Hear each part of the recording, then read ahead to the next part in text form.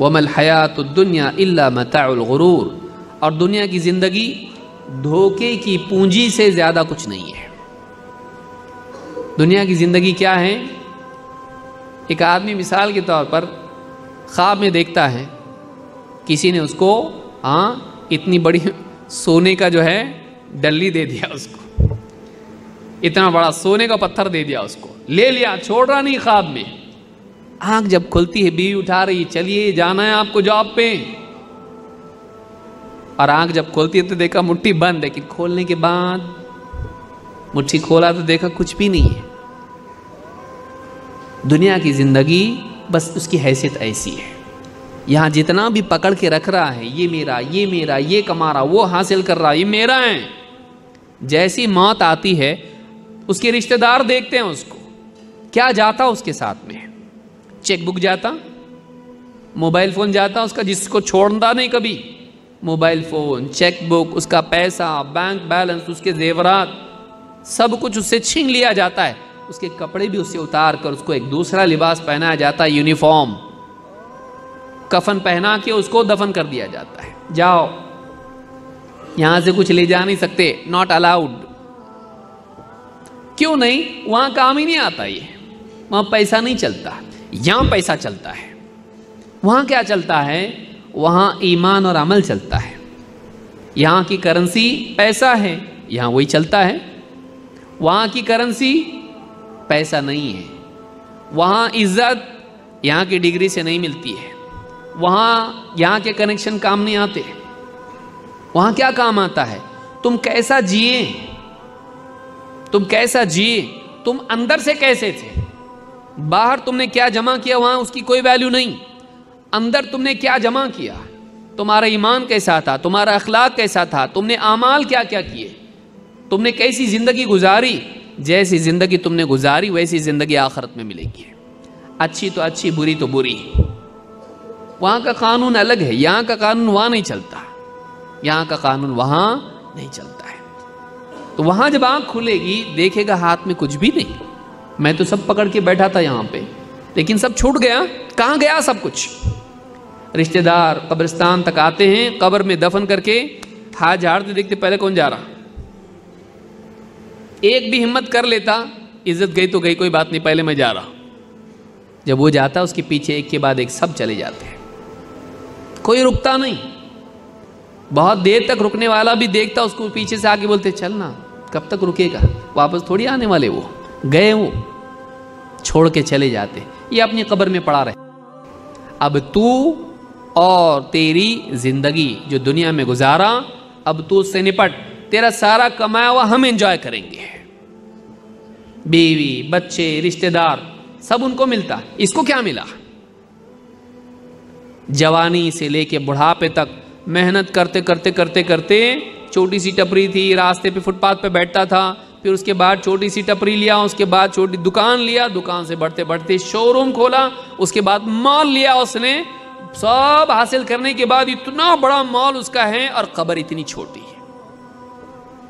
Mall नहीं, cover.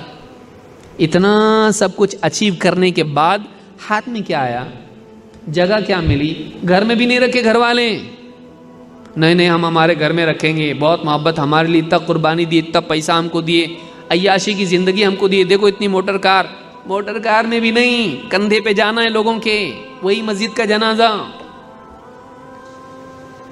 और तुमको कोई बहुत बड़े पार्क में और तुम्हारे गार्डन में दफन नहीं होने वाले।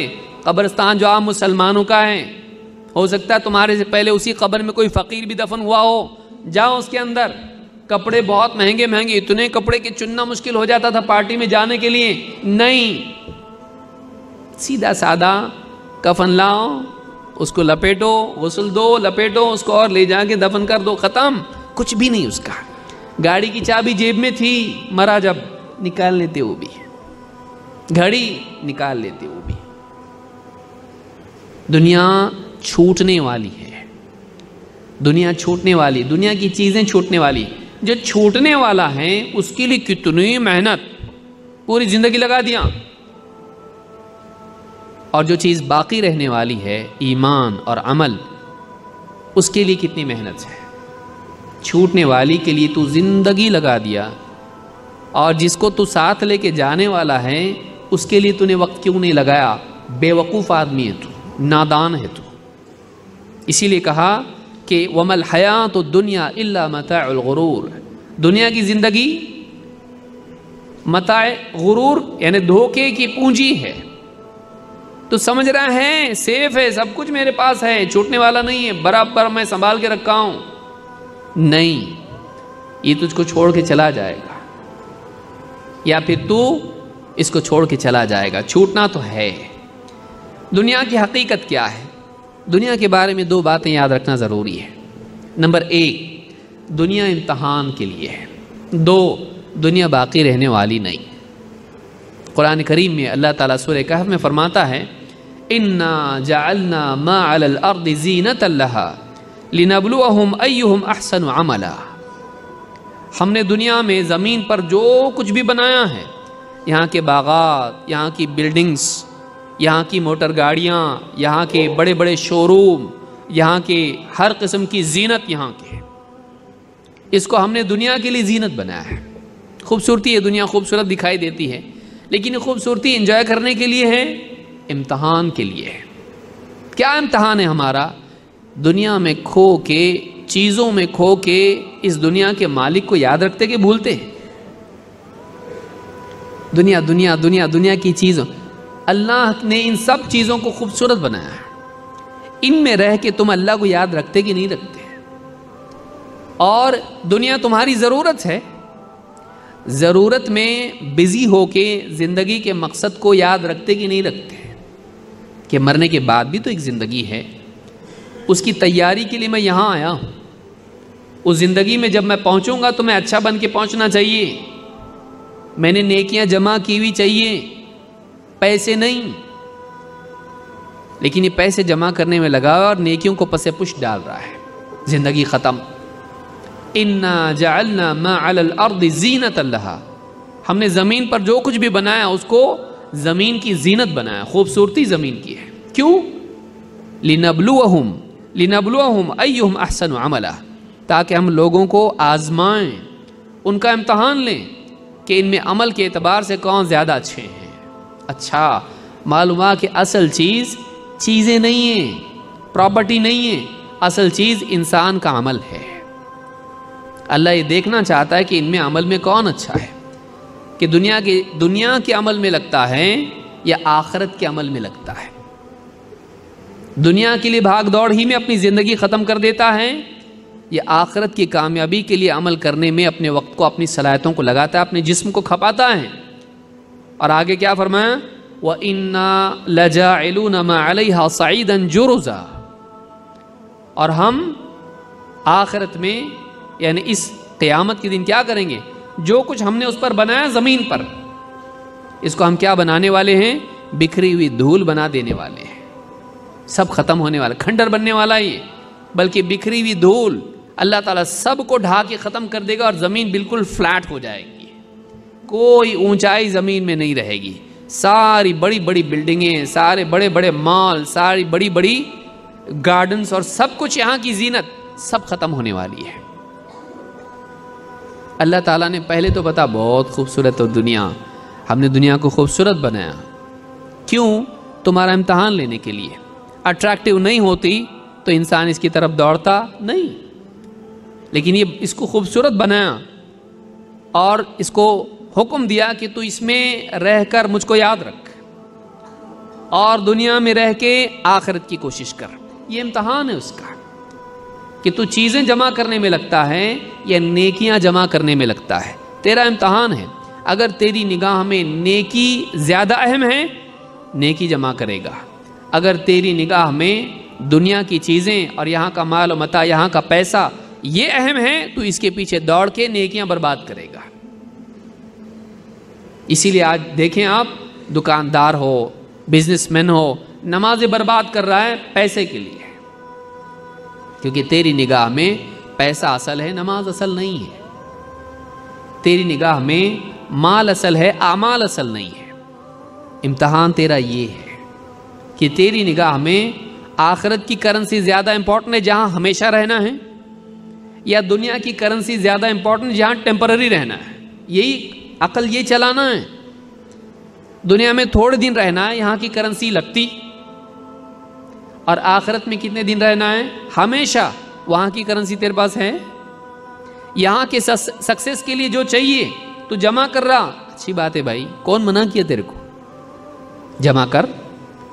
लेकिन वहाँ जाना है कि नहीं है? हाँ कब जाना है? कभी भी जा सकते अचानक फरिश्ता आएगा, चलो। कहा? आखिरत में। वक्त आ गया तुम्हारा। नहीं, थोड़ा और मुझको यहाँ पे कोशिश करना है। मेरे कुछ और टारगेट से अचीव नहीं किया मैंने अभी तक के उसको। आप अपनी मर्ज़ी से आए थे? नहीं। अपनी मर्ज़ी से जाएँगे भी नहीं। आप अल्लाह के हुक्म से आए अल्लाह के हुक्म से तुमको जाना है। तुम्हारी मर्ज़ी चलती नहीं। एक ही चीज़ में मर्ज़ी चलती तुम्हारी। कैसा जीना कितना जीना तुम्हारे बस में नहीं है। कैसा जीना तुम्हारे बस में है। तुम कैसा जिए यहाँ पे। भले चार दिन हो पाँच दिन हो महीना हो साल हो जितना तुम जिए यहाँ पे। जितने साल दुनिया में जिए कैसा जिए। क्या क्या तुमने जमाए नहीं? अपने आप को तुमने क्या बनाए? ये असल है। बाहर क्या जमाए, ये असल नहीं है। लेकिन शैतान इंसान को ही धोखा देता है। मेरे पास ये होना चाहिए, मेरे पास वो होना चाहिए, मेरे पास ये चीज़ होना चाहिए तो दुनिया में मेरा स्टेटस ऊँचा हो जाएगा। होता, नहीं भी होता। आखिरत में यहाँ स्टेटस बनाने में थोड़ी सी ज़िंदगी, उसके बाद मरना है। चालीस, पचास साल आखिरत के मुकाबले में कुछ भी नहीं है। वहाँ हमेशा रहना है। हमेशा के मुकाबले में साठ साल क्या, हज़ार साल भी कुछ नहीं है। वहाँ हमेशा हमेशा हमेशा हमेशा रहना है। कभी मौत नहीं आएगी। वहाँ की तैयारी तूने क्या की है? यहाँ मालूम है मौत आने वाली है। साठ साल, सत्तर साल, अस्सी साल, सौ साल वाला तो जीता भी नहीं यहाँ पे कोई। सौ साल से ज़्यादा तो नहीं रहना है यहाँ पे। सौ साल की तैयारी है और वहाँ हमेशा रहना है। उसकी तैयारी नहीं। तो करना क्या तू यहाँ पे? वहाँ जाके करूँगा। नादान, वहाँ नहीं कर सकते तैयारी। यहीं रह के करना है, जो भी करना है। वहाँ बदला है, यहाँ कोशिश है। यहीं रह के वहाँ की कोशिश तुझको करना है। एक एक करके दिन जा रहा है एक एक करके साल निकल जा रहा है। और तू वहाँ की कोशिश नहीं कर रहा है। तो दुनिया की चीज़ों में लगा हुआ है। दुनिया असल नहीं है, आखरत असल है। दुनिया असल नहीं है, आखरत असल है। दुनिया फना होने वाली है, ख़त्म होने वाली है, आखरत बाकी रहने वाली है। दुनिया में माल काम आता है, आखरत में आमाल काम आएँगे। दुनिया में हमेशा नहीं रहना है, आखरत में हमेशा रहना है। क्या तैयारी किया उसकी?